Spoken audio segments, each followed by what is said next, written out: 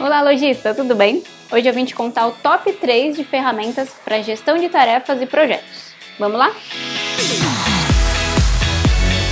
A primeira é o Todoist. É uma ótima ferramenta para você organizar suas tarefas mensais, semanais e diárias.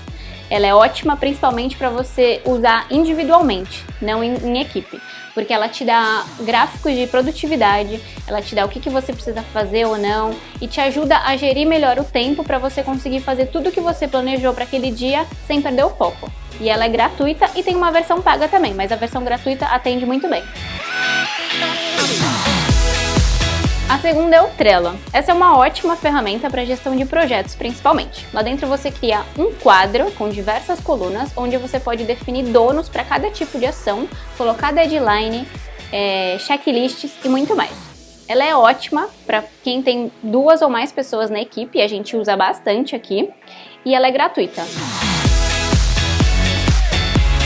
A terceira é a Asana. Ela é uma ferramenta de gestão de projetos e tarefas. Ela é bem parecida com o Trello, só que ela é um pouco mais complexa e completa, digamos assim. Então, se você já tem um negócio muito mais estruturado, com uma equipe bem grande, vale a pena você usar porque ela vai te dar um roadmap de ações a serem feitas e quando elas serão entregues e fluxogramas. Além disso, ela é uma ferramenta paga.